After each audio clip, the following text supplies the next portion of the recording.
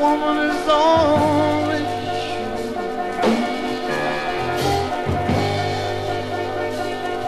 This you must understand. She's not just a plaything. She's blessed above.